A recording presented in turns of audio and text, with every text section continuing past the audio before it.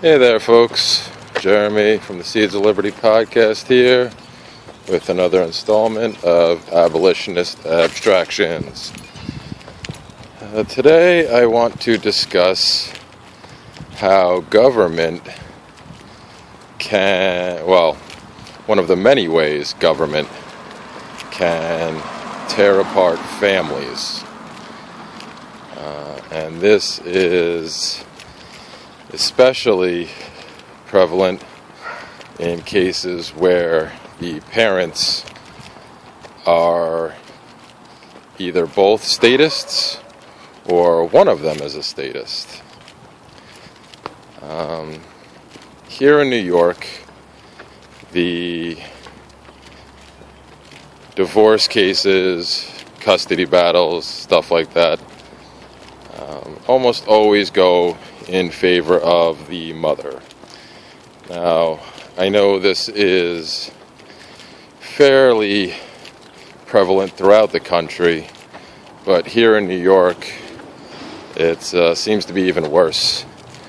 Uh, I think I've seen the numbers national average be somewhere around 80% of the time. The uh, mothers walk away with the children in a custody battle regardless of the actual circumstances. Uh, I think the number here in New York is actually higher than that um, because the system is skewed against the fathers. And this is perpetuated by government because they're the ones that write the laws. They're the ones that claim they want to protect families. They're the ones that claim they're doing this these things that they do for the children.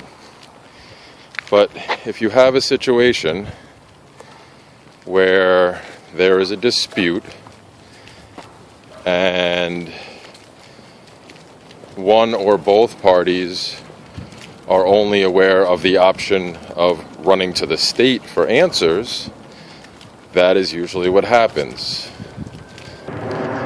So, for instance, what happens when one parent wishes to take the children out of state on some kind of trip against the other parent's wishes? Well, in a civilized society, uh, the two individuals would talk things out and attempt to work out a compromise. In the statist paradigm, however, there is an incentive for one or both parents, depending on the actual participants, to run to the state and hide behind their guns so they can get what they want. Um, you know, what happens if the one parent is a voluntarist and does attempt to come out come up with a compromise and does attempt to work things out peacefully. Um, but the other parent just wants to get what they want for whatever the reason. It doesn't really matter. It still boils down to being a selfish reason. Um, and then you know, say for instance, plane tickets are purchased, hotel accommodations are set up, and uh, the parent who wanted a compromise is left in a position that uh, they'll be made out to be the bad guy if they try to interfere. You know? What happens in that situation if the parent who's a voluntarist knows that the game is sort of rigged against them to start with, and now they've been put behind the eight ball, and it's essentially play ball or lose out on your kids entirely. You know, that becomes an issue when you're talking about somebody who's actually principled uh, which sadly most people are not, but there are there there are some among us that are. Because now that person is put in a very tight spot. It's either roll over and uh, have things done against your wishes, or risk losing your kids entirely. You know, take it a step further. What if other people decide to get involved? Other friends or family members who are also statists and have no problem using the violence of the state against others so they or their friends and family can get what they want. Well, in those situations, it's highly likely that one of those individuals will actually literally call the guns of government to show up to prevent the peaceful person from just seeing their children. They will call the cops as if some harm had befallen someone. You know? Now, this gets even worse when one of the people involved, although not necessarily directly, but uh, say a family member themselves is a former law enforcement officer who thinks that everything they ever did was right. So, calling their friends in to handle the situation is also perfectly right. You know, what would you do in that situation? Do you just accept defeat and pray that somehow the horribly skewed and corrupt system will work out in your favor? Or do you continue to fight and stand up for your principles? What if you were told that a trip was happening regardless of your consent, and then you were told at the last minute that not only was this trip being done without your consent, but it has now been extended in time. And what if you found out at the last minute that this trip was happening against your will and it was extended in time? And you were given less than two hours to get your stuff together just to be able to see your children before they were whisked away. What if, because you only had that short amount of time and you had already been given the runaround and lied to, and now you are angry?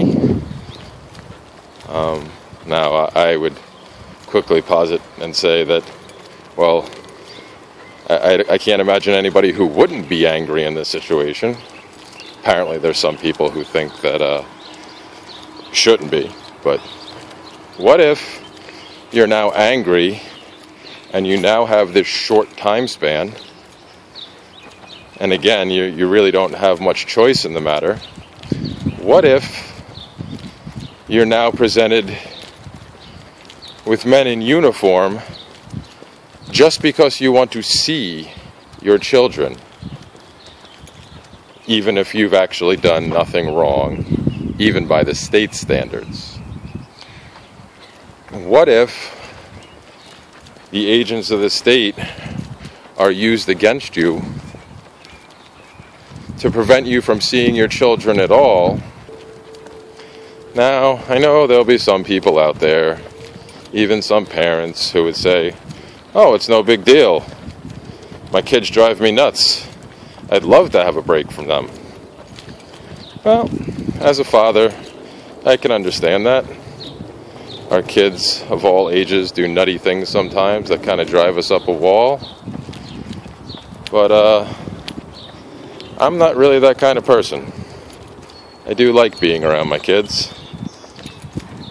I uh, I may not always have time for them, but I, I try to make it available as much as possible. And, uh, you know, if, say, for instance, they were not only removed from my presence, but are removed from the same state I am in for days on end, makes it a lot harder to be able to, you know, spend time with them. So I put this question to you What would you do? Would you just roll over and say, oh, that's just life? Would you try to play the game in order to secure time with your children? Or would you stand up for what you believe in? And again, I know a lot of people would see this and say, well, the answer is obvious. If you want to see your children, then you, you have to do what you have to do. Well, that's where we run into another problem. What if you have spent the majority or all of your, ch- your child or your children's lives trying to teach them about the tenets of non aggression and voluntarism. What if you have been attempting to teach them about being principled and sticking to those principles and not compromising on them because the history is littered with men who have compromised their positions and their principles in order to play the game, to either selfishly get something they want or to purportedly get things that others want. And when that happens, it just makes the next time that much easier. You know, you see it with politicians all the time. People swear up and down, this guy or this this this woman, they're going to be different. They're one of us. You know, they they they really they really stand by their principles. And then they get into office. And all of a sudden they start voting on things that confuse you. And you say, "Well, that doesn't make sense. They claim they were for this." And if you have a readily accessible Congress critter or state Congress critter or representative or whoever it is you're talking about, if they're uh, rather accessible and you can reach out to them and speak to them, you will often hear a lot of the same rhetoric. Oh, well, this is how the game is played. You know, I, I had to give them this so I could get that.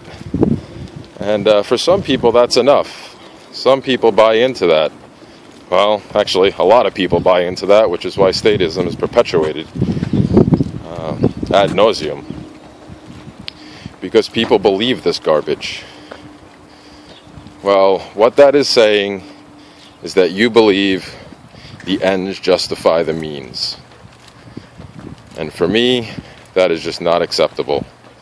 Because that is how we, we got ourselves into the position we find ourselves in in the year 2015. And how it's been for centuries. Because people are always willing to compromise their principles just a little bit.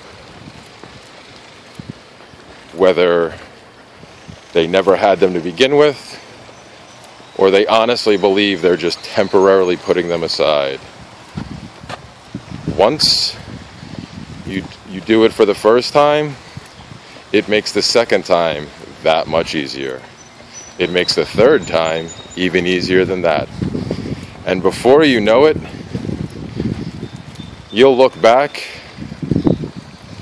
and say, hmm, that principle thing, I used to have that. I wonder where it went. I can't seem to locate it. So that's the position you would find yourself in if you're willing to compromise your principles in order to get time with your children. Now, like I said, I know some people might hear this, and some people I've actually spoken to about this already uh, have said a lot of the same things and said, well, you just got to put them aside. And like I said, that just doesn't work for me. So I put it to my audience What would you do? What would you do if your children were taken away from you? Not because it was what was best for them, but because somebody else had a selfish need. And what if you tried to argue against that and try to do it logically, by the way? Actually, have a, a rational discussion about why this wasn't such a good idea. What if you came up with a compromise in an attempt to make everybody happy and even with the compromise, you would still end up losing. But what if you brought that compromise and it was ignored? What if you made it clear in no, no uncertain terms that if this was done, it was definitely in violation of your consent? What if the other person knew your stance? knew your feelings, knew your principles, knew you would not go against them for any reason. What if the other person knew that you would never use the violence of the state? What if the other person involved was willing to be led by the nose by someone else? say, a parent. What if they disregarded everything you had to say, waited to the last possible second to book a flight at a time that they knew full well there was nothing that could be done about it by you? What if, after hearing the news and being angry, but still trying to compose yourself enough just so you can actually physically see your children before they whisked away, you were met with the force of the state? All because one of the parties involved is a coward and has no problem calling other people with guns to do their bidding. What if all this happened and your only recourse was to use the state, which you know is already horribly slanted in the opposite direction of where you want to go? What would you do? What would you do? I think that's all I got for today, folks. You know, like I said, this is just one of the many ways the state interferes in your life. The state can ruin your family. The state can keep you from your children, even though you have done not, not only nothing morally wrong, but you haven't even done anything wrong by their pathetic standards. This is what can happen when you place your faith in the state. And that's why I rejected that notion a long time ago. And uh, I won't ever go back. Thanks for listening, folks. This has been Jeremy from the Seeds of Liberty podcast with the another installment of Abolitionist Abstractions. Peace.